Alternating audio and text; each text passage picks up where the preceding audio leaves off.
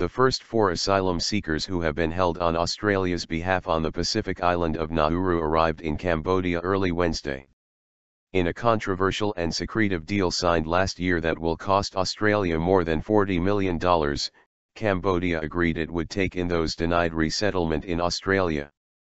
In the end it wasn't only the details behind this deal, the very arrival of the four asylum seekers in Phnom Penh on Thursday was kept out of sight of the media, and they left Phnom Penh's airport in a minivan whose windows were curtained off.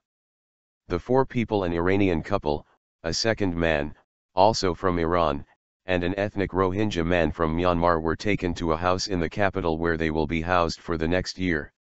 Under the controversial deal, Australia will pay all resettlement costs for a year.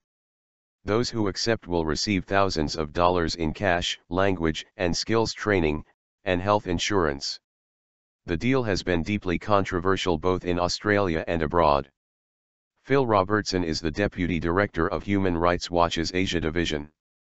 He told VOA by Skype that Cambodia is wholly unsuitable for refugee resettlement given its treatment in recent years of refugees from Vietnam and China. Cambodia clearly has no will or capacity to integrate refugees permanently into Cambodian society, said Robertson.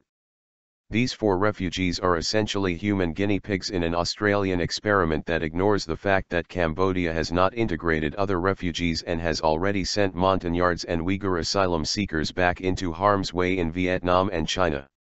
And, Robertson warns, the deal between Australia and Cambodia will likely undermine refugee rights across the region.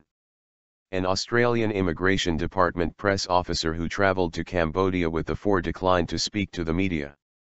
The International Organization for Migration or IOM, is an intergovernmental body that is being paid by Australia to look after the refugees. Given the controversies over this deal, is the IOM concerned for its reputation? We're involved in this because we genuinely believe and there was a long debate in IOM, we sent experts here to look at the various factors at play and we genuinely believe that this is the best option for these people at the moment, said IOM spokesman Joe Lowry. They're not going to get to Australia, so the only choice they have is stay on Nauru or come to Cambodia. Lowry says the four, all of whom volunteered to leave Nauru for Cambodia, requested that they not speak to the media for fear that identifying them might put at risk their families back home. For its part, Australia hopes their experience will encourage some of the hundreds still on Nauru to consider giving up on their ambition to make Australia home. In a video in April, Australia's Immigration Minister Peter Dutton told the detainees on Nauru their choices were limited to remaining on Nauru for another decade or moving to Cambodia. I want to make it very clear to all refugees and transferees in Nauru that you will not under any circumstances be settling in Australia, said Dutton. This is not an option that the Australian government will ever present to you. Cambodia provides you with a chance to start afresh, a chance to begin a new life. This is your only long-term settlement option. More than 600 refugees and asylum seekers are thought to be on Nauru, hundreds more are in detention on Papua New Guinea's Manus Island under an arrangement with Australia. Most are believed to be from countries in South Asia and the Middle East.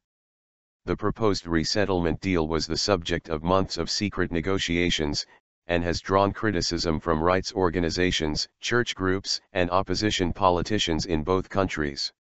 The UN Refugee Agency says it undermines the principles of the Refugee Convention, to which both nations are a signatory and rights groups say Dutton's description of Cambodia as a land of safety, security and opportunity is patently untrue and conflicts with the Australian government's own advice to tourists thinking of visiting the country.